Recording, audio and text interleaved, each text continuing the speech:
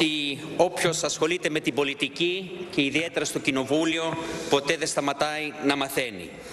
Μπορεί να διδάσκει για πολλά χρόνια στο πανεπιστήμιο ότι το ασφαλιστικό είναι ένα δύσκολο πράγμα, είναι σαν ένα τάγκερ 200, 300, 400 χιλιάδες τόνους που αργεί να αλλάξει γιατί εξαρτάται από τα επιτόκια, από την ανάπτυξη, από το λόγο ανάμεσα στους ασφαλισμένους και στους εργαζόμενους, για τα ποσοστά αναπλήρωσης, όλα αυτά τα πράγματα, αλλά όχι. Μπορεί Δευτέρα βράδυ να ακούσει το ενικό, Δευτέρα, ε, τρίτη πρωί να ακούσει τα ραδιόφωνα, το βράδυ να ακούσει της, της Τρίτης τον αρχηγό της α, αξιωματικής αντιπολίτευσης και να πει ότι σε έξι μήνες αλλάζουν όλα. Ότι το 2014 όλα πήγαιναν καλά, είχαμε ένα ασφαλιστικό που ήταν βιώσιμο και ήρθε έξι μήνες ο ΣΥΡΙΖΑ και το χάλασε.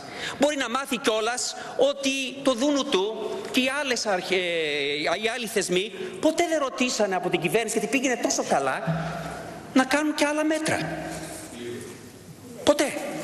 Και εδώ έχω την έκθεση του Δουνουτού, από αυτές τις εκθέσεις που ο κύριος Σταϊκούρας του αρέσουν να μας παρουσιάζουν, Ιούνιος το 2014, που λέει για τις ελληνικές αρχές. Οι ελληνικές αρχές εκείνη τη στιγμή ήταν αυτοί, για να μην μπερδεύεστε. Οι ελληνικές αρχές χρειάζονται να σκεφτούν καινούρια μέτρα, λέει. Σελίδα 18.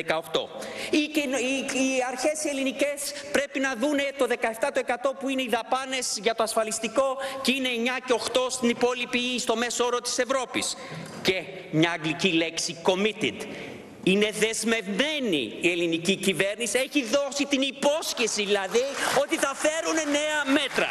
Αυτό λέει το Δουλουτού τον Ιούνιο το 2014 για τα πρακτικά σας παρακαλώ. Σας ευχαριστώ και επιπλέον υπάρχουν και τα στοιχεία του Ελστάτ που εξηγούν γιατί ήταν μη βιώσιμο το Ιούνιο, τον Ιούνιο του 2014 τα μέτρα. Άρα αυτό που άκουσα τη Δευτέρα το βράδυ, αυτό που άκουσα την Τρίτη το πρωί και αυτό που άκουσα την Τρίτη το βράδυ, ότι δεν χρειαζόταν νέα μέτρα, νομίζω μπορεί να κάνετε μήνυση στο Δουνουτού ότι λέει ψέματα, ότι ποτέ δεν σας ζήτησε καινούρια μέτρα, ότι δεν θέλ, χρειάζεται να κάνετε τίποτα.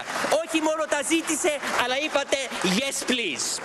Λοιπόν, πάμε τώρα, αφού είναι τόσο δύσκολο το ασφαλιστικό, πώς μπορούμε να το αλλάξουμε.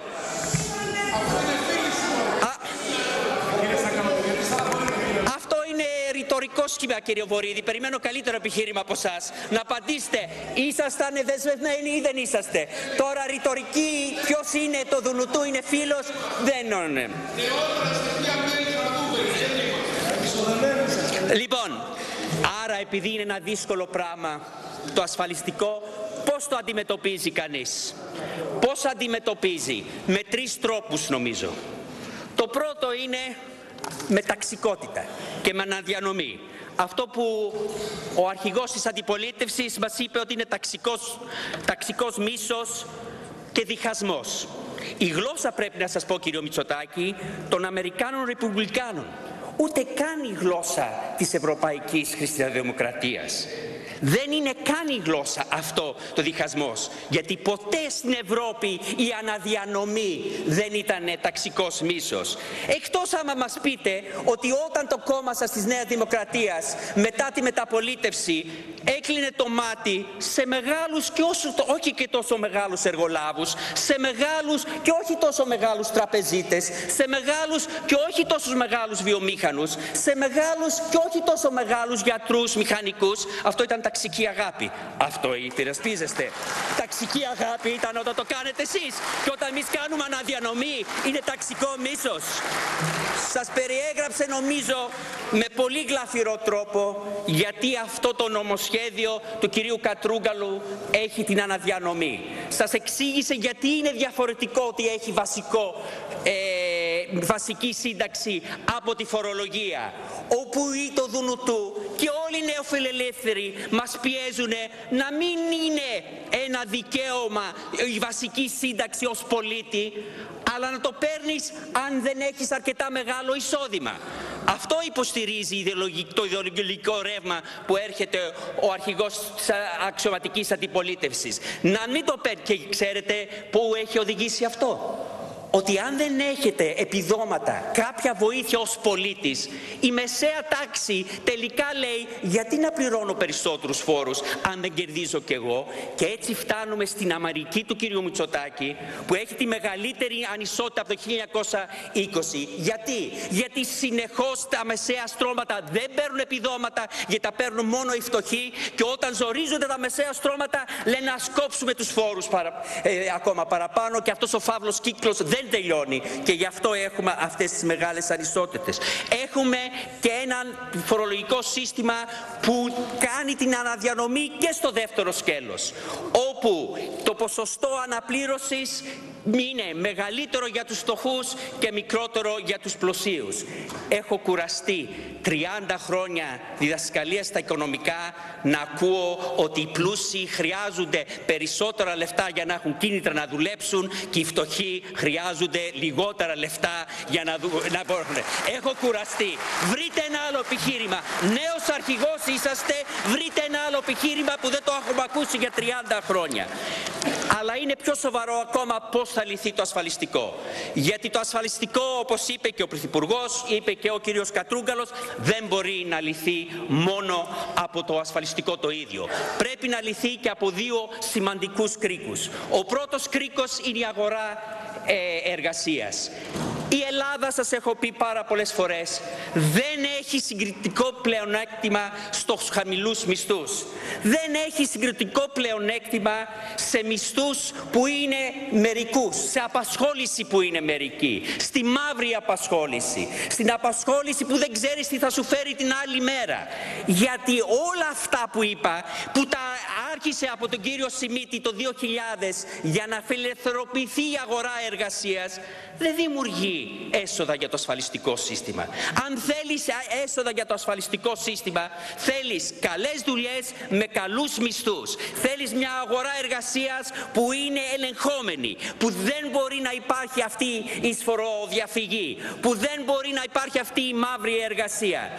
Άρα έχει το μοντέλο εδώ πέρα, είναι πολύ σημαντικό. Και για πείτε μου, αφού διαφωνείτε για τη λίστα του κυρίου Χαρδούβελη. Μήπως δεν είχατε υποσχεθεί εκεί τις μαζικές απολύσεις, κύριε Μητσοτάκη; Μήπως δεν είχατε υποσχεθεί ότι θα κάνετε το lockout για να συνεχίσετε η αγορά εργασίας να είναι για τους φτωχούς μια, ένα, ε, ένας γκρεμός, κάτι που αντιμετωπίζουν καθημερινά, που έχουν χαμηλούς μισθούς, που πηγαίνουν από χαμηλούς μισθούς σε κανένα μισθό γιατί είναι άνεργοι και δεν μπορούν να χρηματοδοτήσουν το ασφαλιστικό σύστημα; Αλλά τέλος, το πιο σημαντικό από όλα είναι το αναπτυξιακό μοντέλο.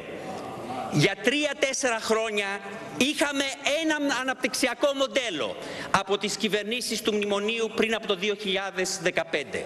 Ήτανε ότι θα περιμένουμε από τις επενδύσεις. Πώς θα έρθουν κύριε Μπούρα οι επενδύσεις λέγατε. Εδώ είναι οι εργαζόμενοι, τους έχουμε καταστρέψει τις εργασιακές σχέσεις, τους έχουμε μειώσει τους μισθούς. Ελάτε εσείς ιδιώτες επενδυτές να επενδύσετε όποτε θέλετε, όταν θέλετε, με όποιο τρόπο θέλετε, όπου θέλετε. Και γι' αυτό δεν ήρθαν επενδυτές. Γιατί ξέρουν ότι αυτό δεν συγκροτεί αναπτυξιακό μοντέλο. Αυτό που συγκροτεί αναπτυξιακό μοντέλο είναι όταν έχεις αναπτυξιακά εργαλεία, όταν έχεις συνεταιριστικές τράπεζες, όταν έχεις αναπτυξιακή τράπεζα, όταν έχεις κοινωνική οικονομία και καινούριους φορείς και καινούριες ιδέες, όταν έχεις αποφασίσει πού πρέπει να επενδύσει ο ιδιωτικός τομέας, πού ο δημόσιος, πού ο κοινωνικός, πώς θα δημιουργήσει την κατάρτιση των εργαζομένων σε συγκεκριμένες περιοχές, πώς θα υπάρχει επίδραση μεταξύ, μεταξύ τους επενδυτές και την κοινωνία. Αυτό είναι ένα αναπτυξιακό μοντέλο. Κυρίες και κύριοι συνάδελφοι, ένα θέλω να πω για να τελειώσω, γιατί θα είμαι ο μόνος νομίζω μαζί με τον το κύριο Θοδωράκη, να μην τον αδικό, που θα είμαι εντός χρόνου. Η ανάπτυξη η αγορά εργασίας, το ασφαλιστικό είναι κομμάτι ενός οράματος μιας κοινωνίας. Το ένα όραμα είναι ότι η ισότητα μπορεί να πάει με την αποτελεσματικότητα. Το ένα όραμα όραμα είναι ότι δεν πρέπει να μεγαλώσει η πίτα πριν την μοιράσουμε. Το ένα όραμα είναι ότι οι εργαζόμενοι και εργαζόμενες είναι το πλούτο αυτή της χώρας. Το ένα όραμα είναι ότι το περιβάλλον αυτή της χώρας δεν μπορεί να το καταστρέψεις. Και πάνω σε αυτό το όραμα είναι προϋπόθεση για να γίνει βιώσιμο το ασφαλιστικό και όχι να χτυπήσουμε τις εργασιακές σχέσεις, όχι να χτυπήσουμε τους μισθούς, όχι να μειώσουμε τους συντάξεις. Νομίζω η διαφορά είναι κρυστάλλινη. Ευχαριστώ πολύ.